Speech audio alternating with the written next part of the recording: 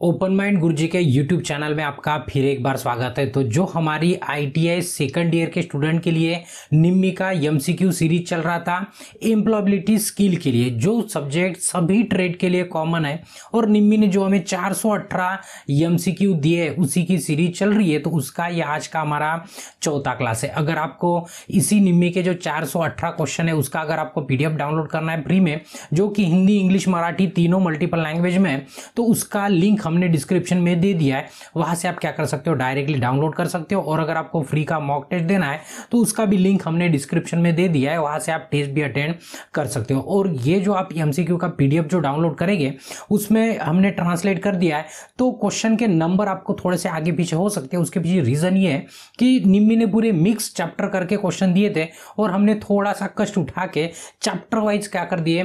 पूरे क्वेश्चन अलग अलग कर दिए मतलब चैप्टर चैप्टर के क्वेश्चन अलग अलग निकाल दिए ताकि आपको पढ़ने में आसानी हो और हमें पढ़ाने में भी आसानी हो। मतलब चैप्टर अगर इधर उधर हो जाएगा तो पढ़ाने में मज़ा नहीं आएगा और पढ़ते वक्त भी आपको मज़ा नहीं आएगा। मतलब डायरेक्ट एक चैप्टर में से दूसरे चैप्टर में कूदेंगे और से वापस आ जाएँगे तो आप मेल नहीं खाता बराबर, इसलिए हमने चैप्टर वाइज अलग कर दिया। तो इसका पीडीएफ का लिंक भी हमने क्या कर दिया? डिस्क्रिप्शन में दे दिया और अगर आप चैनल पे नए हो तो आपको क्या कर देना है? चैनल को सब्सक्राइब कर देना और बेल आइकन दबा के ऑल नोटिफिकेशन ऑन कर देना ताकि जब भी हम इस तरह का कोई नया वीडियो अपलोड करें तो आपको उसका नोटिफिकेशन मिल जाए ठीक है? तो चलिए बढ़ते आज के पहले क्वेश्चन की तरफ़।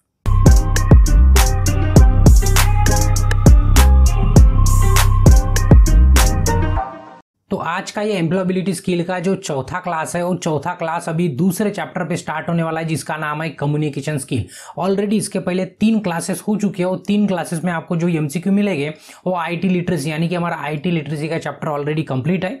इसके पहले के तीन क्लास में, अगर उसको आपको देखना है तो प्ले में जाके देखना है और प्ले का भी लिंक हमने डिस्क्रिप्शन में आपको दे दिया है, ठीक है? तो आज से हम स्टार्ट करने वाले कम्युनिकेशन स्किल से। तो थोड़ा सा पहले ये बता देते हैं कि इस चैप्टर में क्या पढ़ने वाले इस चैप्टर में कम्युनिकेशन स्किल यानी कि संचार करने का जो कौशल है, यानी कि जो बातचीत होती है सिंपल सी जो बातचीत होती है, उसी के बारे में पूरे के पूरे क्वेश्चन है और पूरे क्वेश्चन को पढ़ते वक्त यही ध्यान में रखना है कि हम संचार कर रहे हैं, यानी कि कम्युनिकेशन कर रहे हैं एक दूसरे के साथ। और इसके आंसर के जवाब देते वक्त भी है ना एक अच्छे बच्चे की तरह दिमाग रख के आपको क्या करना है इसका जवाब देना है। यानी कि इसका जवाब क्या होगा? हंड्रेड परसेंट आपको बिल्कुल गलत नहीं होगा बिल्कुल सही आएगा। क्यों? तो ये जनरल से क्वेश्चन इसमें होते हैं जो आमतौर के हम ज़िंदगी में यूज़ करते हैं जो कम्युनिकेशन होता है सिर्फ़ इसकी तरफ़ हम ध्यान नहीं देते। बट ये क्लास के बाद आप आ, आसानी से ध्यान देंगे और आपके समझ में भी आ जाएगा ठीक है? तो चलिए पहला क्वेश्चन की तरफ़ बढ़ते हैं। यहाँ पे क्वेश्चन नंबर नाइनटी लिखा है। क्वेश्चन की तरफ़ उतना ध्यान नहीं देना है पीडीएफ डाउनलोड करेंगे तो आपको टोटल चार सौ अठारह ही क्वेश्चन मिलेंगे। सिर्फ़ हमने क्या कर दिया है? चैप्टर वाइज अलग अलग कर दिया। ये हमने आपको पहले ही बता दिया है, ठीक है?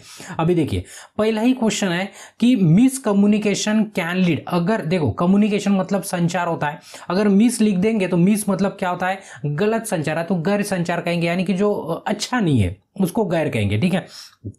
तो गलत संचार के कारण ये किसे जन्म देता है? यानी कि उसके कारण क्या हो सकता है? देखो, अगर आप बात कर रहे हो मतलब आप और हम दोनों हम बात कर रहे हैं और बात करते करते हमें कुछ अलग कहना है और आप कुछ अलग समझ रहे हो तो उसका, उसके कारण क्या हो सकता है? उसको मिसअंडरस्टैंडिंग कहते हैं, अगर आपको पता होगा। तो वही जो बोलते बोलते कम्युनिकेशन में आपको गलत समझ सकते हो आप, या तो हम बोलते हो, गलत बोल देंगे तो इस तरह से जो कम्युनिकेशन होता है, उसको क्या कहते हैं हम? मिसकम्युनिकेशन कर कहते हैं तो उसके कारण क्या हो सकता है? तो देखो बिल्ड रिलेशन इससे संबंध तो बनने वाली नहीं। संबंध टूट जाएँगे लगे तो पर यहाँ पे संबंध नहीं बनेंगे। दूसरा क्रिएट मिसअंडरस्टैंडिंग बिल्कुल सही बात है। अगर हमारा मिस कम्युनिकेशन होता है तो उसमें क्या हो सकती है? मिस अंडरस्टैंडिंग हो सकती है, यानी होती है जब हम कुछ बोलते हैं और आगे वाला कुछ अलग समझ लेता है तो उसके कारण मिसअंडरस्टैंडिंग हो जाती है। उसके कारण हमारा रिलेशन भी क्या हो जाता है? खराब हो जाता है, यानी कि गलत फहमी पैदा हो सकती है अगर मिस कम्युनिकेशन है तब, ठीक है? तो सक्सेसफुल प्लानिंग भी नहीं हो सकती, सफल योजना नहीं हो सकती। इफ़ेक्टिव रिज़ल्ट भी नहीं हो सकता इसका तो इसका क्या हो सकता है कि ये क्रिएट कर सकता है मिसअंडरस्टैंडिंग यानी गलत फहमी पैदा कर, कर सकता है अगर मिसकम्युनिकेशन होता है तो। ठीक है तो इसलिए इसका बी आंसर क्या रहेगा? बिल्कुल सही रहेगा। चलो नेक्स्ट है उसके बाद what is required for effective communication अब इफ़ेक्टिव कम्युनिकेशन कम्युनिकेशन के लिए आ, किस चीज़ की ज़रूरत है? रिक्वायर्ड यानी कि क्या चाहिए इफ़ेक्टिव कम्युनिकेशन के लिए? तो हिंदी में देखेंगे तो प्रभावी संचार के लिए अभी चार ऑप्शन दिए चार में से क्या चाहिए? अभी देखो चाहिए तो बहुत कुछ बट अभी ऑप्शन के हिसाब से भी डिसाइड करना होता है कि इसका आंसर सही क्या हो सकता है। तो देखिए कीप लिसनिंग सिर्फ़ सुनने से आपका कम्युनिकेशन अच्छा नहीं होगा। देखो, जब आप और आपका दोस्त है तो आप और हम दोनों भी अभी बैठ के और हम क्या कर रहे हैं? बातचीत कर रहे हैं। अभी समझो कि हम ही बात कर रहे हैं और आप बिल्कुल ऐसे बैठे हो, हमारे मुँह की तरफ़ देख रहे हो तो क्या इसको सही कम्युनिकेशन कहेंगे? बिल्कुल नहीं कहेंगे। हम कुछ कर रहे हैं, आप अच्छे से सुन रहे हो, उसके ऊपर आप रिएक्ट भी कर रहे हो रिप्लाई भी दे रहे हो, नहीं सर, ये ऐसा है, फिर ऐसा है ऐसा। डिस्कशन जैसे चल रहा है तो इसको क्या कहेंगे? गुड कम्युनिकेशन ये तो हम बोल ही रहे हम पूछ ही रहे आपको बट मुंडी भी नहीं हिला रहे, कुछ भी नहीं कर रहे तो ये क्या हो गया हमारा गलत कम्युनिकेशन यानी कम्युनिकेशन किसी काम का नहीं। तो यहाँ पे पूछा है कि एक इफ़ेक्टिव कम्युनिकेशन के लिए किस चीज़ की रिक्वायरमेंट है? या तो क्या करना चाहिए? देखो कीप टॉकिंग सिर्फ़ बोलती रहने से उसको अच्छा कम्युनिकेशन बोलेंगे क्या? बिल्कुल नहीं बोलेंगे। तो अच्छा कम्युनिकेशन क्या रहेगा? लिसन एंड टॉक केयरफुली ठीक है, अभी देखो, यहाँ पे भी और listen carefully but talk unnecessary unnecessary यानी कि बेवजह कुछ भी बोल देना। चाहिए बेवजह हमने पहले बोला कि इसके ज़्यादातर आंसर है ना, एक अच्छे बच्चे की तरह आप एकदम गुड स्टूडेंट हो, ऐसा सोच के आपको इसके जवाब देना है। तो आप सही मतलब बहुत से क्वेश्चन आप आसानी से सॉल्व कर देंगे, ठीक है? तो यहाँ पे कि अननेसेसरली अगर बात करते हो आप, यानी बेवजह कुछ भी बोल देंगे तो इसको भी अच्छा कम्युनिकेशन नहीं कहेंगे तो इसलिए ये भी ऑप्शन गलत हो गया। अच्छा क्या हो सकता है कि आपको बराबर सुनना है, आराम से सुनना है, आराम से बराबर समझ लेना है, और उसके बाद केयरफुली बोलना यानी कि ध्यान से सुनना, और बात करना, ये एक अच्छा रिक्वायरमेंट है, या तो अच्छा संचार हो सकता है, प्रभावी संचार हो सकता है इससे तो इसलिए इसका सी आंसर क्या रहेगा? बिल्कुल सही रहेगा, ठीक है? चलिए नेक्स्ट है, उसके बाद। अभी देखिए, यहाँ पे 99 के बाद है ना 100 क्वेश्चन नंबर है बट 100 क्वेश्चन नंबर पे जो क्वेश्चन था, निम्मी ने दिया था, वो एक्चुअली तीसरे चैप्टर का क्वेश्चन था, यानी कि आईटी का था कंप्यूटर का था।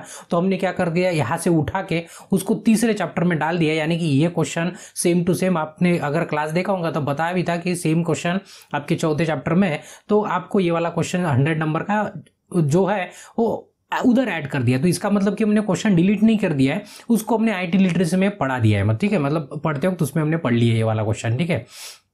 उसके बाद है व्हाट इज़ स्ट्रेस अभी देखो स्ट्रेस यानी कि तनाव का मतलब क्या होता है? यानी कि तनाव क्या होता है? अभी इसको ज़्यादा बताने की ज़रूरत नहीं, क्योंकि तो आपको पता है कि तो जैसे एग्ज़ाम का दौर आ गया, अभी आप ये वीडियो देख रहे हैं, इसका मतलब तो ये है कि आपका एग्ज़ाम पास आ गया और आपके दिमाग के ऊपर अभी आया तो आपके ऊपर आपका तनाव बढ़ गया, आपका तनाव बढ़ गया, यानी कि आपके दिमाग में स्ट्रेस आ गया। जैसे आपके टीचर बोलते थे, इतना करना है, ये इतना पढ़ के आना है, ये बुक लिखना है, वो करना है प्रैक्टिकल लिखना है प्रैक्टिकल का लिखना है तो ये सब उसके कारण क्या हो जाता है? स्ट्रेस है या तो किसी के घर में किसी किसी ने कुछ बोल दिया, तभी भी स्ट्रेस आ जाता है। तो ये जब तनाव या तो स्ट्रेस आता है ना, तब हमें क्या खुशी फील होती है? नहीं, अभी अभी हमें तनाव आ गया, हमें टेंशन में अभी अभी हमें बहुत खुशी हो रही है। ऐसे कभी होता है क्या? कभी नहीं होता है, ठीक है? तो अभी ऐसे ही सोच के आपको जवाब देना है। तो देखिए फील एंजॉय क्या आपको आनंद की अनुभूति होगी? बिल्कुल ही नहीं होगी, होती होंगी तो समझ लेना क्या पागल हो। ठीक है? उसके बाद फील सरप्राइज़ क्या आप आश्चर्यचकित हो जाएँगे? अरे, मेरे ऊपर स्ट्रेस आ गया ऐसे भी नहीं होगा। ठीक है? फील डिलाइट डिलाइट ही मतलब उसी तरह का प्रसन्न, प्रसन्नता बिल्कुल नहीं होगी। वही उसका अर्थ होता है। फील ऑफ़ फ़र्स्ट स्टेशन या तो डिसअपॉइंटेड आप फील कर सकते हो। यानी कि आप निराश, या तो निराश जैसी आपको भावना होगी, कब जब आपको, आपका तनाव बढ़ जाएगा आपके दिमाग के ऊपर। तो इसलिए पेपर के पहले अगर पढ़ लिए ना तो ये स्ट्रेस भी नहीं आता और ये तनाव भी नहीं आता है। बट आप भी कैसे जो आदत पड़ गई है वो पड़ गई है अभी। चलो तो, तो इसका आंसर क्या था? डी था। चलो नेक्स्ट है उसके बाद। How many days does it take to form the habit habit यानी कि एक आदत होती है। हैबिट यानी कि क्या कहेंगे? आदत। तो एक आदत बनने के लिए अभी देखो आदत अच्छी भी हो सकती है बुरी भी हो सकती है। तो बुरी आदत तो दो दिन में लग जाती है बट अच्छी आदत लगाने के लिए मिनिमम कितने दिन लगते ये पूछा है तो आपको ध्यान में रखना इक्कीस दिन लगते अभी हो आपको सुबह उठने की आदत हो या तो आपको रोज कॉलेज जाने की आदत हो अगर आप इक्कीस दिन रेगुलरली अगर कॉलेज जाते हो, संडे संडे छोड़ के मतलब रविवार को नहीं जाना है तो आपको अच्छा लगेगा। अगर आप कभी नहीं जाते हो तो आपका एक भी दिन जाने का मन नहीं करेगा। बट आप रेगुलर अगर जाते हो और 21 दिन अगर आप कोई भी काम कर ले होते हो तो बराबर 22 से दिन से दिन से है ना, आपको मतलब अच्छा लगने लगता है वो सब। ठीक है? तो उसके कारण आदत लग जाती है। जब भी आप कोई काम कंटिन्यूस इक्कीस दिन करते हो तो बाईसवें दिन से आपको अच्छा फील होने लगता है। तो यही क्या है वो? हैबिट लगने के डेज़ है। तो इसको कितने दिन लगते हैं? इक्कीस दिन लगते हैं। तो ये बात ज़िंदगी भर ध्यान में रखना है। उसके बाद, ये था क्वेश्चन नंबर 102 उसके बाद क्वेश्चन नंबर तीन से लेकर क्वेश्चन नंबर तेरह, ये पूरे के पूरे क्वेश्चन है ना एंटरप्रेनरशिप यानी कि जो हमारा चौथा चैप्टर पढ़ने वाले, इसके बाद जो चार नंबर का जो चैप्टर है, ये दूसरा है, तीसरा आईटी लिटरेचर और चौथा जो एंटरप्रेनरशिप है, उसके क्वेश्चन अभी देखो, अभी अच्छे से हम कम्युनिकेशन पढ़ रहे हैं और इसके बीच में घुसा दिया निम्मी वालों ने एंटरप्रेनरशिप तो अभी बताइए कि कैसे हम डाइवर्ट करें आपको, या तो कैसे हम मतलब पार्टी चेंज कर दे। ठीक है ना? आपको समझने के लिए भी आसान नहीं होगा तो इसलिए हमने क्या कर दिया, इसको उठाया और हमने क्या कर दिया, चौथे चैप्टर में जाके उसको फंसा दिया भाई, उसको बाद में देखेंगे हम, ठीक है? चौथे वाले चैप्टर में तो चलो नेक्स्ट है उसके बाद। इसलिए बीच बीच में ना क्वेश्चन नंबर चेंज होते हैं तो आपको कंफ्यूजन नहीं होने होगा ना, इसलिए सब इसलिए हम ये सब बता रहे हैं आपको। चलो नेक्स्ट है उसके बाद। Question number fourteen in social media we can use social media सभी को बताए जहाँ पे ज़्यादातर टाइम पास करते हैं, जैसे अभी ये भी आप सोशल एक सोशल प्लेटफॉर्म है यूट्यूब बट अभी यहाँ पे आप टाइम पास करने के लिए नहीं आए हो। कभी कभी करते हो बट ये टाइम पास करने के लिए तो वीडियो नहीं देख रहे हो। आपकी हंड्रेड परसेंट एग्ज़ाम की तैयारी कर रहे हो, इसलिए आप यहाँ पे आए हो। बट बाकी के जो प्लेटफॉर्म है, वो जिनके पास बहुत समय है ना, उनके लिए वो प्लेटफॉर्म है तो एक तरह का टाइम पास ही आपको बुरा भी लग सकता है अगर आप उसके यूज़र हो तो। बट ये सच है, वो है। ठीक है? तो देखिए सोशल मीडिया है वी कैन ब्लैंक है to convey our feeling and emotion तो क्वेश्चन में ये बोला है कि अगर आपको अपने फीलिंग या तो इमोशन को शेयर करना है सोशल मीडिया पे तो सोशल मीडिया पे हमें अपनी भावनाओं और और भावनाओं को व्यक्त करना है तो उसके लिए का हम किसका उपयोग करते हैं? नीचे में सब तो देखेंगे गेस्टर अलग बात हो गई वो हम सोशल मीडिया पे नहीं कर सकते। आई कांटेक्ट भी सोशल मीडिया पे नहीं हो सकता है। बॉडी मूवमेंट भी सोशल मीडिया पे आप नहीं कर सकते हो ठीक है? अभी वीडियो बना के डांस वांस करके बता सकते हो कि हमें बुरा लग रहा है कि अच्छा है। बट हमारे पास एक शॉर्टकट है सोशल मीडिया पे आ, अपने इमोशन देने के लिए उसको इमोजी कहते हैं ठीक है? इस तरह की इमोजी होती है अलग अलग इमोजी का अलग अलग अर्थ होता है। तो ये अलग अलग जो अर्थ होता है ये इमोजी हम बराबर यूज़ करते हो पर्टिकुलर एक सिचुएशन के हिसाब से। अगर ये आपको इमोजी पता ही नहीं है तो इसका मतलब कि आप इस धरती के नहीं हो, आप दूसरे ग्रह से आए हो। इसका मतलब ये होता है, ठीक है? आज के ज़माने में सबसे ट्रेंडिंग चीज़ अगर देखेंगे तो ये हमारा क्या होता है? इमोजी होता है। तो जनरली आजकल हम लिखना छोड़ दिए। हम इमोजी भेजना स्टार्ट कर दिए। मतलब जो भी बोलना है इमोजी में बोल देते हैं। आगे वाला अपनी फीलिंग समझ लेता है। तो वही क्वेश्चन में बोला था कि सोशल मीडिया पर अगर आपको आपकी फीलिंग या तो इमोशन शेयर करना है तो अगर समझो घर वाले ने डांट दिया बहुत तो फिर आपको बुरा लगता है या तो आप रो रहे हो तो आप ये रोने वाला सिंबल डाल देंगे। बराबर है? तो इससे आपको पता चल जाता है आगे वाले को, आपके दोस्त को कि नहीं, इसको अभी मार पड़ी है घर में तो इसलिए रो रहा है। तो लिखने की ज़रूरत नहीं इसको क्या कहते हैं इमोजी कहते हैं तो इसलिए इसका ए आंसर क्या रहेगा? बिल्कुल सही रहेगा। ठीक है, चलो नेक्स्ट है, उसके बाद। वी सिलेक्ट ब्लैंक है। Emoji to express our feeling ठीक है, अभी हम सिलेक्ट करते हैं इमोजी ये तो बात बिल्कुल सही है। हिंदी में भी पढ़ लेते हैं। हम अपनी भावनाओं को व्यक्त करने के लिए इमोजी का चयन करते हैं। अभी ब्लैंक है, यहाँ पे भी ब्लैंक है, यहाँ पे भी हिंदी इंग्लिश दोनों में। तो अभी ऑप्शन देखेंगे रैंडम रैंडम यानी कि कौन सा भी, अपनी हिसाब से। मतलब अभी हमें गुस्सा आ रहा आ रहा है तो हम रो रहे हैं अभी। मतलब नाराज़ है, समझो। तो हम ये हंसने वाला, ये हंसने वाला डाल देंगे सिंबल मैं सिंबल नहीं कहेंगे इमोजी कहेंगे। तो ये क्या सही है? बिल्कुल नहीं है। मन में आ गया, कभी भी ये डाल देंगे, कभी भी ये डाल देंगे। ऐसे नहीं होता है। हम क्या करते हैं, हम बिल्कुल परफेक्ट वाला इमोजी यूज़ करते हैं। जो इमोजी बिल्कुल हमारे सिचुएशन को बिल्कुल बोल पाए। मतलब उस सिचुएशन के लिए जो परफेक्ट है उसी को हम सिलेक्ट करते हैं। तो इसलिए इस ब्लैंक में we select the perfect emoji क्या करते हैं हम? परफेक्ट वाला इमोजी यानी कि उत्तम इमोजी उस सिचुएशन के हिसाब से सिलेक्ट करते हैं। देखो ऑड भी नहीं करते मतलब कुछ भी आ, आ, मतलब कुछ भी नहीं कर देते हैं। ठीक है नन का तो सवाल ही नहीं और रैंडम का भी सवाल नहीं। तो इसलिए इसका बी आंसर क्या बिल्कुल सही है। ठीक है चलो नेक्स्ट है उसके बाद। वो यूज़ इमोजी वेन हम इमोजी इमोजी कब यूज़ करते हैं? तो देखिए जनरली समझो आप उधर और हम इधर है, हमें अभी हंसना है और आपको मैसेज भेजना है तो हँसते वक्त तो हाँ हाँ हाँ ऐसे भेज सकते हैं। बट हमें साइलेंटली हंसना है, बिल्कुल आसानी से ऐसे हंसना है, सिर्फ़ छोटी सी स्माइल देना है। तो अभी टेक्स्ट मैसेज में कैसे लिख के हम आपको भेजेंगे? सही है? तो उसके लिए क्या करेंगे हम?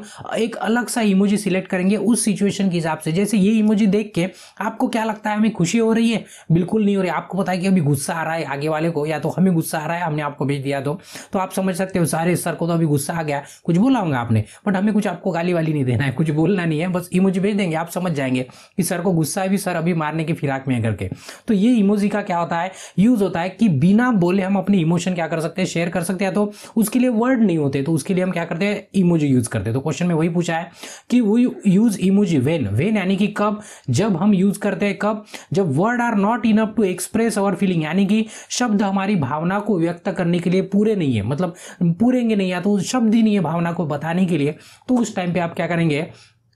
इमोजी का यूज़ करेंगे तो इसलिए इसका बी आंसर क्या रहेगा बिल्कुल सही रहेगा। चलो नेक्स्ट है उसके बाद when we strongly feel or react a situation with particular people we are use our अभी देखिए, यहाँ से थोड़ा सा क्वेश्चन चेंज हो रहा है।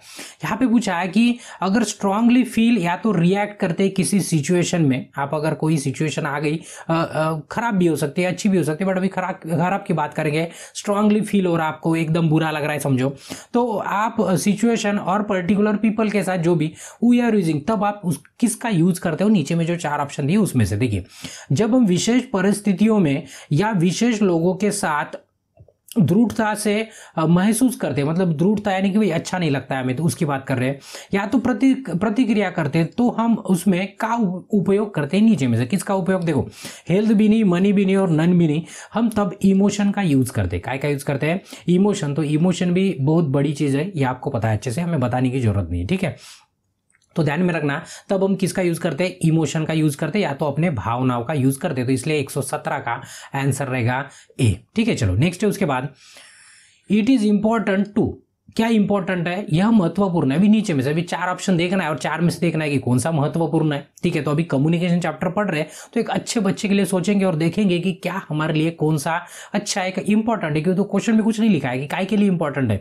सोने के लिए, खाने के लिए, घूमने के लिए ऐसे कुछ नहीं लिखा है, ना ही कम्युनिकेशन लिखा है। तो अभी सोचना है, हमें ऑप्शन देखे तो देखिए accept understand and manage our emotion अगर देखेंगे तो एक बिल्कुल सही बात है कि हमारी भावना को स्वीकार करो ठीक है? इमोशन को स्वीकार करो, हमारा हो या तो किसी का हो। सम, उसको समझने की कोशिश करो और उसके बाद प्रतिबंध करें। मतलब क्या करें उसको? इमोशन को मैनेज करें। बराबर उसको मैनेज अगर भले ही गुस्सा आता है, गुस्सा आता है तो मार दो, ठूस दो दूसरे को। ऐसे नहीं होता है। अपने इमोशन को कंट्रोल करना मैनेज करना ये बहुत ज़रूरी है। तो ये पहला वाला ऑप्शन अपने लिए अच्छा हो सकता है। एक्सेप्ट मिसअंडरस्टैंड देखो मिसअंडरस्टैंड मतलब ये होना ही, हो ही नहीं सकता कि गलत समझो, किसी बात को दिए तो गलत ही हो गया। मिसअंडरस्टैंड इसमें भी है। मतलब ये भी ऑप्शन नहीं है हमारा। इसमें भी मिसअंडरस्टैंड अंडरस्टैंडिंग मतलब तीनों कट गए। हमारा पहला ऑप्शन क्या था? बिल्कुल सही था कि क्या करना है आपको? कोई भी सिचुएशन होती है तो आपको एक्सेप्ट कर लेना है पहले, उसको समझ लेना है, यानी कि अंडरस्टैंड कर देना है, और उसके बाद उसको मैनेज करना है। यानी कि उसको क्या करना है? प्रतिबंध लगाना है या तो बराबर कंट्रोल करना है सीधी सीधी सिंपल बात में। तो हमारा ए ऑप्शन क्या रहेगा? बिल्कुल सही रहेगा। यानी कि ये हमारे लिए क्या है? एकदम महत्वपूर्ण और इंपॉर्टेंट है। ठीक है, चलो नेक्स्ट है उसके बाद। A person ability to understand and manage emotion properly is called अभी देखो, एक आधा पर्सन है, उसकी एबिलिटी है मतलब एक अलग तरह तरह का पावर ही कहेंगे, उसके पास एबिलिटी है विशिष्टता है उसकी, कि वो क्या कर सकता है मैनेज कर सकता है अपने इमोशन को प्रॉपर तरीके से। अभी आपको पता है कि अगर आपके दोस्त थी मतलब आप दोस्त के बारे में सोच के देखो, अभी दस दोस्त होंगे, आपके आपके या तो पाँच दोस्त होंगे, हर किसी का इमोशन कंट्रोल करने का तरीका बिल्कुल अलग अलग होता है। किसी को थोड़ा सा बोल देंगे, उसको गुस्सा आ जाएगा और मार भी देंगे समय आ जाएगा। बट कुछ दोस्त होते हैं आपके कि वो समझ जाते हैं कि अरे नहीं ये तो मज़ाक कर रहा है छोड़ दो अभी इसको। मतलब वो क्या कर रहे हैं अपनी इमोशन को कंट्रोल कर रहे हैं। बट जिस जो अपनी इमोशन को कंट्रोल कर सकता है उसका रिलेशन अच्छा होता है। और जो कंट्रोल नहीं कर, कर सकता है वो उसका रिलेशन बिल्कुल ही ठीक नहीं होता है। कहीं पर भी हो घर में हो दोस्तों के साथ हो टीचर के साथ हो किसी के भी साथ हो। ठीक है? तो देखिए किसी व्यक्ति को भावनाओं को ठीक से समझना और प्रतिबंध करने की क्षमता क्या कहलाती है? तो देखिए ये एक तरह का इंटेलिजेंस है बट इंटेलिजेंस से काम नहीं चलने वाला। इंटेलिजेंस की बुद्धि अगर पढ़ाई में अगर होशियार हो तो हम उसको इंटेलिजेंट कह सकते हैं। ये आर्टिफिशियल इंटेलिजेंस जो हमारे कंप्यूटर में चल रहा है, अभी कंप्यूटर के दौर में आईटी में चल रहा है, उसको आर्टिफिशियल इंटेलिजेंस कहते हैं, ठीक है? तो जैसे सॉफ्टवेयर अगर होते हैं ना, अपने आप कुछ कर देते हैं, उसको आर्टिफिशियल इंटेलिजेंस कहते हैं। उसके बाद इमोशनल इंटेलिजेंस ये बात बिल्कुल सही है। अगर भावनात्मक बुद्धि आपके पास इमोशनल इंटेलिजेंस है तो आप क्या कर सकते हो, उसको अच्छे से मैनेज कर सकते हो। देखो स्प्लिट पर्सनैलिटी है तो अपरिचित पिक्चर देखा होगा तो दो व्यक्ति मतलब एक बार एक रहेगा एक बार दूसरा रहेगा ये भी अच्छा नहीं है। तो अगर आप एकदम अच्छे से अगर मैनेज कर सकते हो इमोशन को तो यानी कि आप इमोशनली क्या है? इमोशनल इंटेलिजेंट है। क्या है? इमोशनल इंटेलिजेंस है आपके पास तो इसलिए इसका सी ऑप्शन क्या रहेगा? बिल्कुल सही रहेगा। चलो नेक्स्ट है, उसके बाद a person with high emotion intelligence अगर कोई पर्सन है, उसके बाद अच्छा सा अच्छा यानी कि उसका इमोशनल इंटेलिजेंस एकदम अच्छा है, वो अच्छे से किसी को समझ सकता है सिचुएशन को अच्छे से समझ सकता है और उसको हैंडल कर सकता है। देखो, ये सब है ना, सभी के सभी जन नहीं कर सकते। ये पावर सभी के पास नहीं होती है पर्टिकुलर कुछ लोगों के पास होती है। तो आपको भी, आप मतलब आजू बाजू में थोड़ा सा सोच के देखिए कि किसका इमोशनल इंटेलिजेंस अच्छा है। तो ठीक है तो देखिए, हिंदी में, उच्च भावनात्मक बुद्धि वाले व्यक्ति के पास, अभी ब्लैंक होता है या तो है जो भी है ऑप्शन में देखेंगे। देखो निगेटिव क्वालिटीज उसमें निगेटिव क्वालिटीज होती है बिल्कुल नहीं हो तो उसका एकदम अच्छा क्वालिटी है।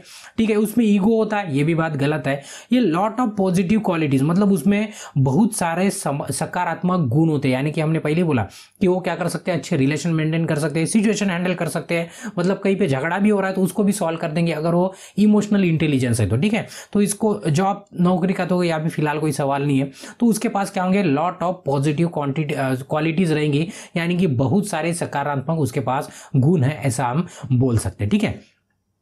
उसके बाद नेक्स्ट क्वेश्चन है when something good happen to us we feel अगर जब हमारे साथ कुछ अच्छा होता है तो हमें लगता है, जब हमें अच्छा होगा हमारे साथ सिंपल सी बात है क्या हमें बुरा लगने वाला है, ठीक है ऑप्शन में देखेंगे तो आपको पता है कि आपके साथ अगर अच्छा हो गया, आज आज आपका रिज़ल्ट लग गया और आपको हंड्रेड में से हंड्रेड मिल गए तो आपको कैसे लगेगा? तो चार में से ऑप्शन देना है, बिल्कुल आसान है कि इरिटेड होगा आपको, चिड़चिड़ापन होगा, बिल्कुल नहीं होगा। गुस्सा हो जाएँगे आप कि अरे क्यों सौ में से सौ मिले, मुझे तो फेल होना था, ऐसे भी नहीं बोलेंगे।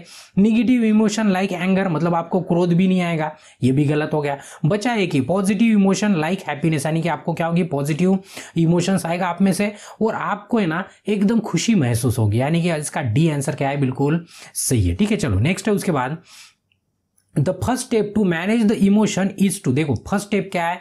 First step to manage the emotion अगर आपको इमोशन को मैनेज करना है तो सबसे पहली स्टेप क्या है? ये क्वेश्चन में पूछा है। तो भावना को प्रति, प्रतिबंधित करने के लिए पहला कदम क्या होगा? तो देखिए accept and understand the emotion देखो एक्सप्रेस इमोशन नहीं मैनेज इमोशन नहीं रिजेक्ट इमोशन नहीं बट ये वाला एक्सेप्ट करना जो भी सिचुएशन है, उसमें क्या करना कि पहले उसको एक्सेप्ट कर लो, या एक्सेप्ट कर लो यानी कि उसका स्वीकार कर लो पहले और उसके बाद उसको समझो, तभी जाके आप क्या कर सकते हो, अच्छे से उस इमोशन को मैनेज कर सकते हो। नहीं तो बस एक आधे ने बोल दिया, बस उसको फिर तान दो उसके कान के नीचे। फिर ये इमोशन कंट्रोल नहीं है। फिर आगे वाले ने कुछ बोला है, उसके पीछे कुछ रीजन होगा, पहले सुन लो एक्सेप्ट कर लो, उसके बाद सोचो थोड़ा सा उसके बाद लगे तो दे दो बात की बात है। बट पहले क्या करना है, अपने इमोशन को कंट्रोल करना बस, नहीं तो बस किसी ने थोड़ा सा भी उंगली लगा दिया, फिर ठोक दो उसको। तो ये सब गलत है, ठीक है?